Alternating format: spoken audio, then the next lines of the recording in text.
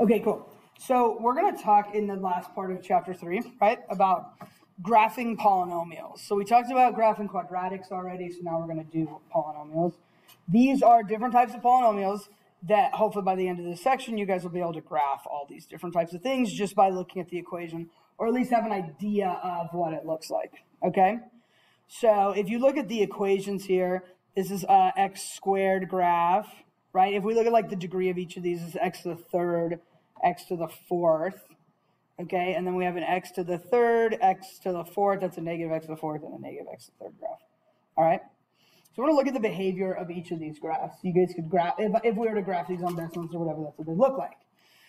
So the first thing is, let's go ahead and write down uh, some similarities between the first, third, and fifth graphs. So let's look at, okay, here's the first graph, the third graph, and the fifth graph. Okay. And I'll kind of give you a, a hint on this. Remember when we were on the last test, we were talking about like the limit as x goes to infinity, which way did the arrows go, and the limit as x goes to negative infinity? What do you notice about the arrows on all of those graphs, the end behavior? They all go in one way. They all go in the same direction, that's right.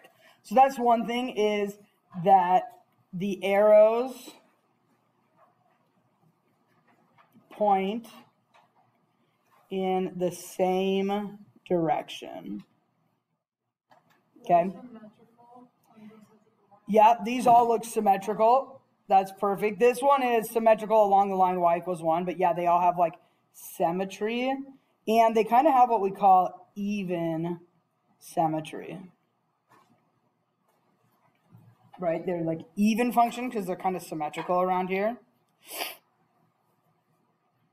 And if you look at the equations, okay, we talked about this one has um, degree 2, this one has degree 4, and this one also has degree 4. So all those degrees, what do you notice about those degrees? They're all, yeah, multiples of 2. So they're all even degrees. Okay, even degree. All right? So then let's look at the second, the fourth, and the sixth graphs. So we have this one, it's x to the third. Okay, we got this graph right here. This is also x to the third. This is also x to the third. Okay, what do you notice about the arrows on the x to the third? So that's graph 2, 4, and 6. Yeah, the arrows are going opposite direction. Oh, that's the worst. Thank you.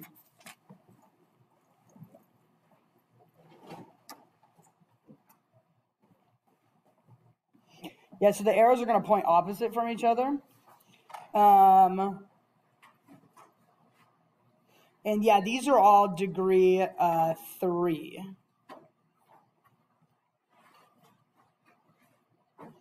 Okay. And they also have like some kind of symmetry. Like if I'm looking at this, that definitely looks like it has odd symmetry, at least like kind of odd symmetry. Odd symmetry is where it's symmetrical, but like going the opposite directions, you know? Okay. Um, but these all these all have odd degrees. Okay, so then talks about what's the, the connection between the graphs and their equations. Well, we already kind of talked about it with even and odd. But let's look at something really quickly. Uh, instead of answering that question, let's answer this question. Um, for graphs 1, 3, and 5, how can you tell oops, if the arrows go that way or that way? Okay, so we know that they go in the same direction. We're looking at the connection between the graph and the equation basically what I want you to look at is how can you tell if both sides go up or both sides go down by just looking at the equations, if you have any guesses. So right here, the now graph number one, the arrows go up, up. Same thing with number three. But what's changing on number five to make them go down, down? Negative where? The, yeah, nice. Negative leading coefficient. So this is kind of why we're talking about degree and leading coefficient and stuff like that. Because if it has a negative leading coefficient, it will go down, down. If it has positive, it will go up, up. Okay? And all the graphs are going to behave that way, which makes sense because if I make it times a negative, it flips it upside down, you know? And then let's say the same thing. How can we tell on graphs two, four, and six, how can we tell if the arrows go, uh, let's see, do this one first, down to up? Okay. Or up to down. So how can we tell which way did they go? So same type of idea is like graph number two, this is positive, it goes down to up.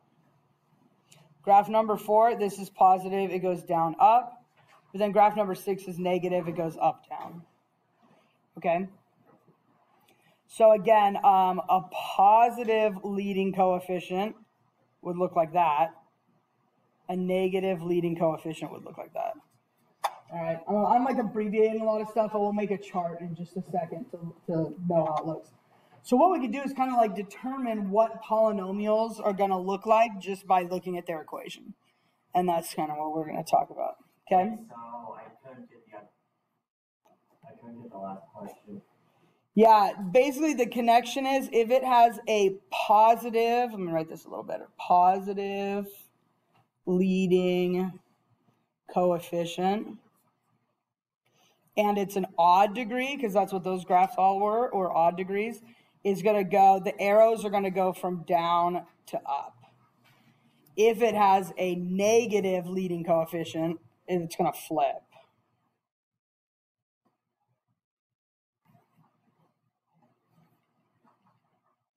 The arrows are going to go from up, up on the left, down on the right.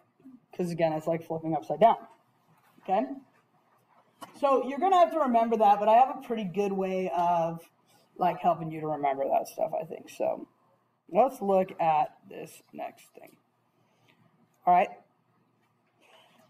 Okay, so when I start with even, this is how you guys are going to remember it. So this is called, actually, let's. This is called end behavior. End behavior basically means what do the arrows look like? Okay?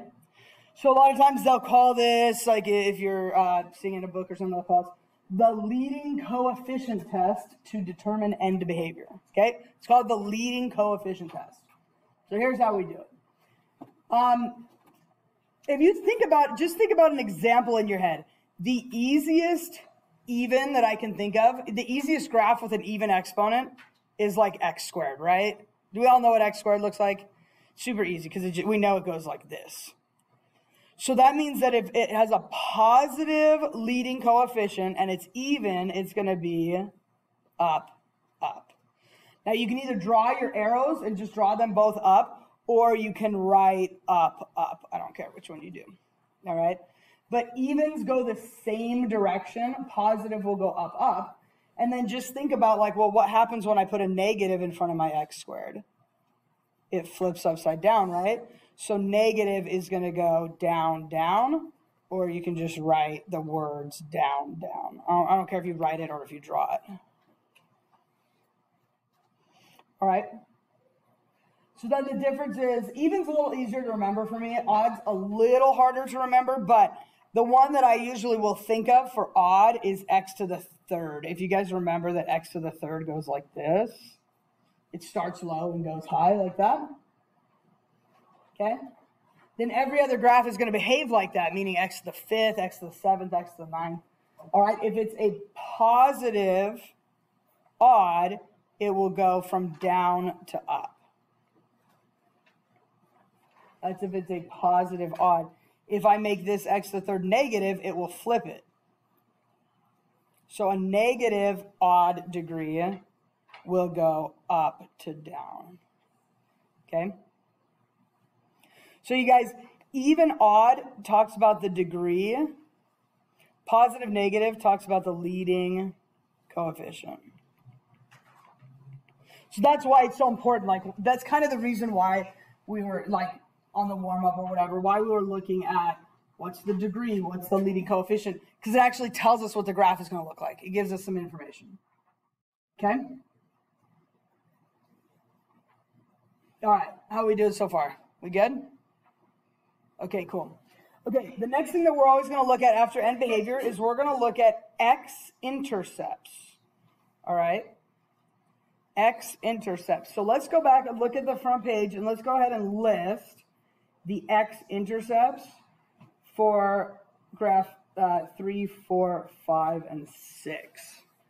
All right, you guys can look and the x list the x-intercepts. Remember that the x-intercepts are where it crosses the x axis. Okay, see if you guys can lift those down. Okay, so guys, let's look at the um, x-intercepts on graph number three. Okay, so I can see it crosses at negative 2, negative 1, 1, and 2. All right, so let me go ahead and write those down at uh, negative 2, negative 1, 1, and 2. Okay, for graph 4, it has intercepts at negative 2, negative 1, and 2.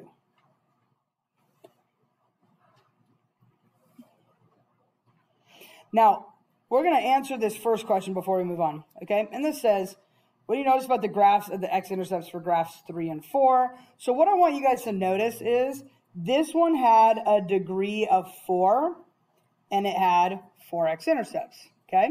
We talked about how the solutions is supposed to equal the degree.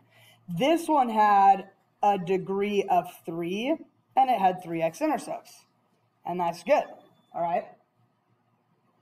So what we're going to say is for graphs three and four, the x-intercepts, uh, oh, how, how about this? The number of x-intercepts equals the degree. All right. The other thing I want you to notice is at these x-intercepts, at these graphs, what it's doing is it's crossing the axis, okay? We call this a cross. It's just going straight across the axis, all right? Same thing on this graph. It's going cross, across, across, all right? So that's the other thing that we're going to talk about is it also crosses the x-axis, like it goes straight across. Okay, so how does that compare to what happens for graphs 5 and 6? Well, let's go ahead and list what the uh, x-intercepts are on graph 5 and 6. So on graph 5, it's negative 3, negative 1, 1. There are only three intercepts, but it's a fourth degree, okay? That's a little weird. We got to talk about why that happens, but it's negative 3, negative 1, 1. So my x-intercepts here, sorry, I'm flipping back and forth like crazy, negative 3, negative 1, 1. But this one was degree 4. So like it looks like it doesn't match, right?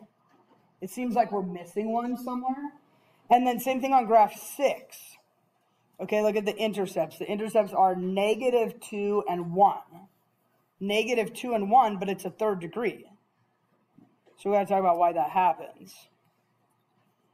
Um, that's a degree three. So it looks like uh, the number of x-intercepts does not equal the degree. And the question is like, why does it do that? Well, we talked about how the other ones, they cross the x-axis. Okay, they cross the x-axis. Let's look at the intercepts on graph uh, three. Uh, no, which one? That's cross, which cross? Which cross? Yeah, okay, on graph 5 and graph 6. This one's going across the axis. This one's going across the axis. What's this one doing? It's not going across, right? So, okay, so some people call that it's it touches it and it turns around, all right? Now, my word that I use for that is it bounces on the axis. Okay, we're gonna call that bouncing because it like comes down and it hits it and it goes back up again. Almost like if you were to throw a ball on the floor, it would like hit it and go back up. So it bounces. This one is doing that too. It bounces. Okay. And so that has to do with why we have a different number of solutions and the degree is a little bit different because it bounces on here. All right. Um, I'm going to show I'm going to show you something real quick. You guys can just watch this uh, on Desmos. We're going to take a look at something. Going put this in like factored form. Okay. Now, you guys remember, this is just a quadratic right here, but if it's factored to x plus 2 and x minus 3, right? It's factored like that. That means my solutions are negative 2 and positive 3, okay? Okay, so uh, check this out. I'm going to put another x minus 3. What do you notice is now happening at that point? It's bouncing, okay? What that means is, you guys, that's called a double root or a uh, double solution. It means we count it twice. Because if you look right here, it's like if I look at my solutions now, it's negative 2. If I look at the equation, negative 2, 3, and 3. Okay? So it counts double. So that's why this is a third degree and I only see two roots. So if I go back to here and I were listing out, like on number six, if I were listing out my x-intercepts, yeah, it would be negative two and one, but technically one would count twice. And that's why it would then equal the degree. It just counts double. Okay. Uh, this one, the, the uh, solutions would be negative three, one, and negative one, but that one counts double. So I can actually like write it twice or something. All right. Okay, so that's called um, bouncing on the graph. So let's take a look here. Okay, so I want you guys to check this out. For graph five, here's the factored form. All right, I want you to look at something real quick. So the first thing we're going to look at is this. If x plus 1, that's called a factor. Okay, x plus 1 like that, that's called a factor. And then we know, you know, we like solve it and we go x equals negative 1, right? That is called a solution. Okay? So you guys need to like be aware of these words and stuff like that. That's a factor, of the solution. This one, that's a factor. X minus 1 is a factor. X equals 1 is a solution. X plus 3 is a factor x equals negative 3 is a solution. And if you look back at that graph, that's where it's going to hit, right? But we talked about how this one bounces. Looking at the equation, can you see why it's going to bounce? By just looking at the equation? Yeah, it has a squared, which means I'm going to count it twice. Okay? All right, you guys, this is something known as, it's also known as multiplicity. Okay, so we'll talk about multiplicity a little bit right here. All right.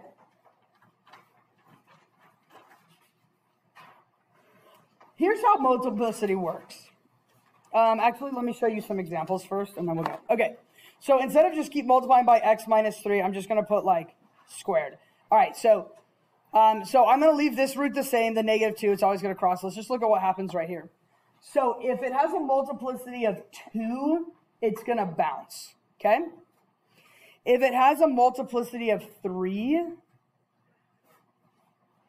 it's going to cross, but it does like this weird, like flat cross thing. Okay, you guys see that? So it doesn't just come up, like this is a normal, I call this a normal cross. That's got a multiplicity of 1.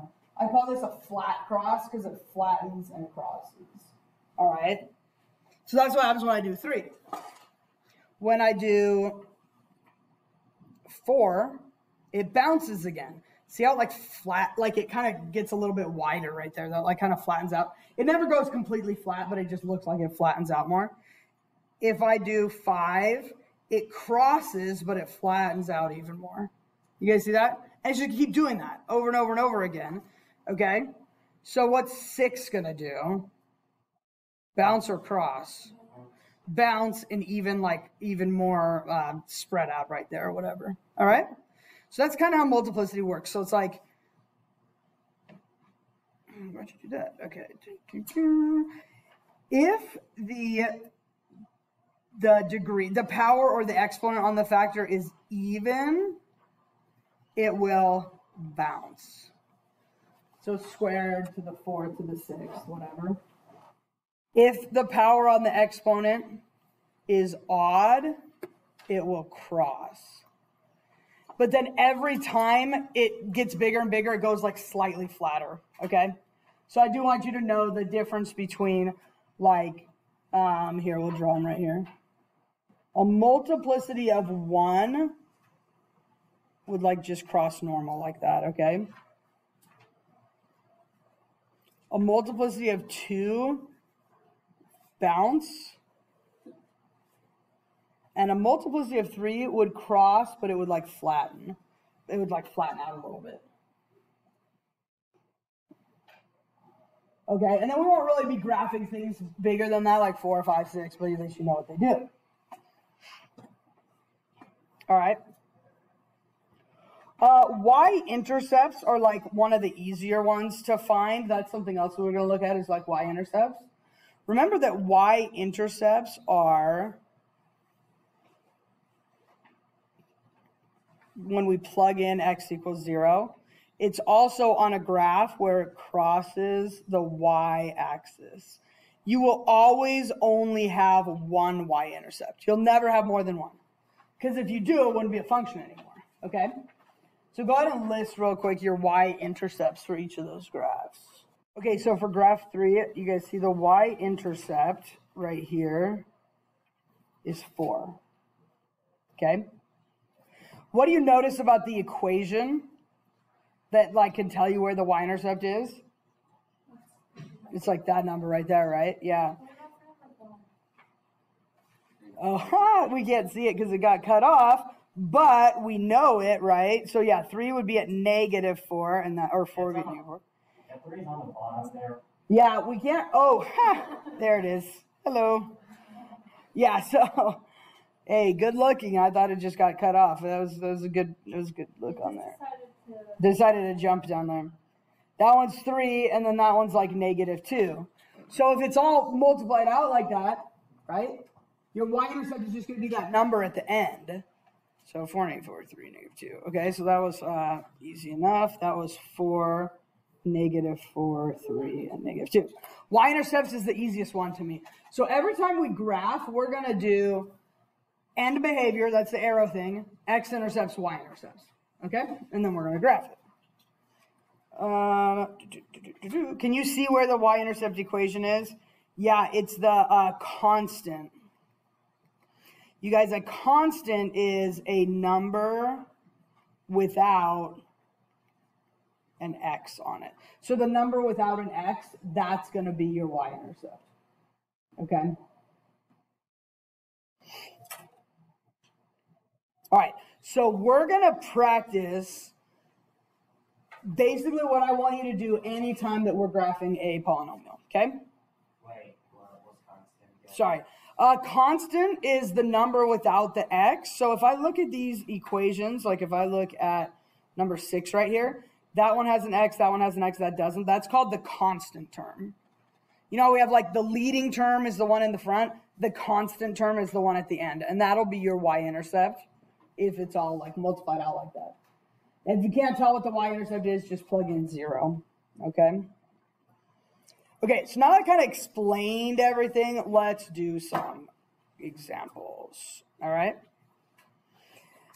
Okay, so I'm going to have you guys list out a few things every time you do these. So there's not a lot of room on here, so just find maybe space at the top or something. So for number one, the first one we're going to do is the leading coefficient test to determine end behavior. I'm just going to call it arrows. Okay? And what I want you guys to think about, if I multiplied this out, I would have x to the what? If I were to multiply it all out. I don't want you to multiply it out, but what would you have for the first term? x to the... How many x's do I have on there? Yeah, yeah, for sure. And then see how it's like there's a negative right here? So it's negative odd. So I know what my arrows look like for negative odd. They go yeah, like that, up to down. Okay. Okay, the second thing that we're always going to find is the x-intercepts or the solutions. And you guys can look at each of these and remember that it's just as if you were solving them. So since this says, since this says x minus 2, it has an x-intercept at positive 2. Plus 1 has an intercept at negative 1. And minus 1 has an intercept at 1. Okay? I'm going to go ahead and put those on my graph right now. So 2, negative 1, and 1. Ooh, those are very close to each other. All right. And the fact, you guys, that they all have a multiplicity of 1 means they're all going to cross. All right, nothing's going to bounce. Nothing weird is happening. They're all going to cross. The last thing I want to find is the y-intercept. Now, I'm not going to multiply this out. Let's just go ahead and plug in 0 and see what I get. If I put 0 here, 0 here, and 0 here. Okay? So I have negative. All right, 0 minus 2 is negative 2. 0 plus 1 is 1. 0 minus 1 is negative 1. So three negatives make a negative. 2 times 1 times 1 is 2. What about the negative on the outside? Yeah, so that's one of my three. So I have a negative times a negative, which is positive, times another negative. Then goes back to negative again. So those three are negatives, and then negative 2 times 1 times negative 1. So I can go ahead and draw my y-intercept.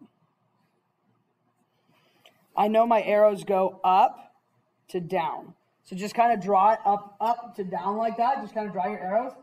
And now what we're going to do is we're just going to sketch it. And we have to cross through each point. So this is like the kind of fun part. Okay? Because you just go like this. Cross, cross, cross. And just try to like meet up with that down there. Cross, cross, cross. All right? Now, in terms of like how high does that point go? We don't know. Okay? I might have drawn it up to like one. Some one of you guys might have drawn it up to three. That's fine because we don't really know how high it goes. All right, we're just kind of sketch. That's why these are called sketching. Is we're just kind of like looking at where we think it's going to go to. Okay, so those are what you're going to do for every single graph. Is you're going to do arrows, x-intercepts, y-intercepts. All right, so let's look at this one. Uh, okay, let's start with arrows. Now, if I were to multiply all these out, now don't forget that this is like squared right here. So if I had an x squared and an x and an x, how many x's total is that? Four. And it's negative. So what do we know about a negative with an even? Down, down. You can either just draw them or you can write it or whatever. Okay? Okay, now my x-intercepts are negative 1, 1, and 3. But something special happens at the negative 1 because it's squared, right? What's going to happen right there? That's right. So you can either write bounce to remind you, you can write bounce, or sometimes you guys will see me write this. Sometimes I'll write M, hold on, this pen is too big. Uh, just a second. Change the size of that. Okay. Sometimes you'll see me write MO2. That's my abbreviation for it has a multiplicity of two. Okay. Meaning it counts twice. It counts I as two. The one again and put a bracket in it. That you could do that. So you can just list it twice. Yep. You can definitely do that. So I know that that's going to bounce cross cross. Okay. So I'm going to go ahead and put it at negative one, one, and three. All right. I might put like a little B right there to remind me when I graph it that that's going to bounce. Cross, cross. Okay. My arrows go like this. My arrows go down, down. So then the only other thing that might help me is just a y-intercept. And it's like not even that big of a deal. It just gives me one more point on the graph, you know? Okay, so if I plug in zero here, here, and here, I get, okay, a negative on the outside. 1 squared is 1. 0 minus 1 is negative 1. Negative 3. So again, I have three negatives, and it's 1 times 1 times 3. So that's uh, negative 3. Yeah, get negative 3. Okay? Okay, so you guys, now I'm going to draw it, and I'm going to bounce, cross, cross. All right? Because if you mess something up, you'll see, like, it won't hit the y-intercept. Like, if I forget to bounce right here and I cross, it's like, well, how does it come down and hit the y-intercept, you know? So it won't really work. So when I draw this, I got to go, okay, I'm going to bounce there, hit that point, cross there, cross there. All right, and so then all I'm like kind of looking for is which way the arrows are going, which way your x-intercepts are going, stuff like that. All right. okay, so let me give you a second just to try these two. These are all nicely factored out. Uh, so for number three, you can like write it on the bottom. Just make sure you do arrows, um, x-intercepts, and y-intercept. And then same thing for number four, arrows, x intercept, y intercept. And remember for the arrows, you just have to figure out how many x's there are total. Okay? So take a second, see if you guys can sketch those real quick. Okay, you guys, this one was an x, x, x squared. So that's an x to the fourth positive. So my arrows would go up, up. My x-intercepts were negative 1, negative 2, and 2 twice. However you want to say that, multiplicity 2 or times 2 or whatever. Like however you, or list it twice or whatever. Okay? So that reminds me that I'm going to bounce right there. The y-intercept was 8. Did you guys get 8 for the y-intercept? Okay, great. Boom. And what are my arrows? Up, up. Okay. Up, up. And now I just connect everything, right? So it's going to cross, cross, go and hit that, bounce. Okay? It look like cross, cross, bounce. And I can, you know, I could graph this on Desmos or whatever, a graphic calculator, and check and see that that's exactly what it's going to look like. Wait, I got four. Uh, for what? Oh, for the y-intercept? Yeah. Uh, did you square this one? Yeah, so uh, negative 2 squared will be 4 times 2 times 1. Uh, where did we get the negative one? Um, where for the solution you mean for the x-intercept? Yeah. Uh, from this one, right? Well, yeah, but remember when you solve it, you have to do the opposite. Because what I'm really doing is I'm doing like x plus 1 equals 0. Subtract that over, x is negative 1. So that one's negative 1. That one is negative 2. That one is positive 2. So it's always the opposite when you solve, right? So like x plus 1 is the factor, x equals negative 1 is the solution. Okay? So, okay, so on this one, if I do arrows, all right, x, x, x, that's going to be x to the third, and it's positive. So my arrows will go down, up. So the x-intercepts are the opposites of these. So negative 1, positive 2, positive 3. They're all just one time. So they all cross. And then the y-intercept, if I plug that in, okay, if I plug in 0, I get 1 times negative 2 times negative 3, which is uh, positive 6.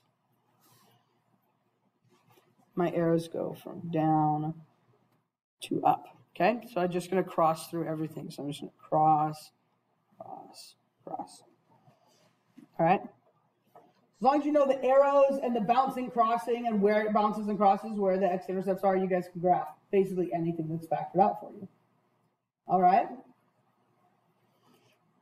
Um, all right, cool. Let's go ahead and take a look at the homework that you're gonna do. Ooh, go. Okay, let's see. Um, let download it real quick.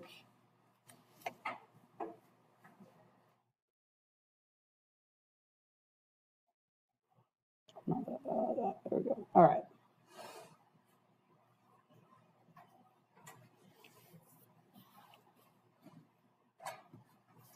Okay, so oh, this is going a little slow. All right, end behavior means arrows. Okay, x intercepts, y intercept. You guys can go ahead and cross off uh, symmetry and turning points. We haven't talked about that yet. We probably will. You could cross off symmetry and turning points. Okay? Now, guys, this one is not factored out for you. Do you think, though, that we can factor this out? What, what would you do first to try to factor this? You can do a GCF, right? Okay, so I can do 7x and then x squared minus 4. And then can you continue to factor x squared minus 4? Yeah, difference of squares, right? You guys remember that's a difference of squares? So this is actually what it factors to 7x, x plus 2, x minus 2. Okay? So you can also use that, that's all nice and factored out, to list all your stuff and then try to graph it.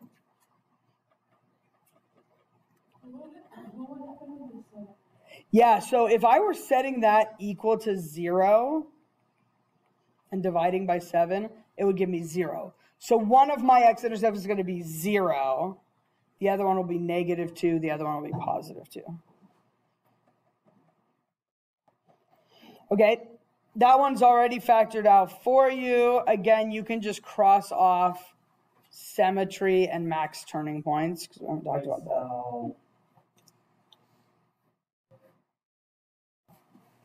How do you define the graph's behavior? Uh, end behavior means arrows. So, like this one is odd degree and positive, and we know odd positive goes down up. But isn't there, Well, yeah, you only have to add it together if it's factored out. So if it's factored out, see, I have one, two, three x's. If it's not factored out, you just look at the first term. Okay? Yeah, so that just means the arrows. X intercepts, Y intercept. This one's going to have some bouncing. All right. Then you have a couple more practice things, just like the ones that we did in class. Some of these have more multiple um, parts to them. And then for seven and eight, I want you guys to see if you can go backwards. See if you can figure out what the equations are if you know the arrow goes like down to up and you know what the intercepts are and stuff like that. See if you can figure it out by, oh, it crosses there, it bounces there. So just try to write equations for these. All right? And that's it. So you guys have the rest of the period to do that. And then also your uh, exit ticket. You can do them in either order. I don't care. I'll post that right now, though.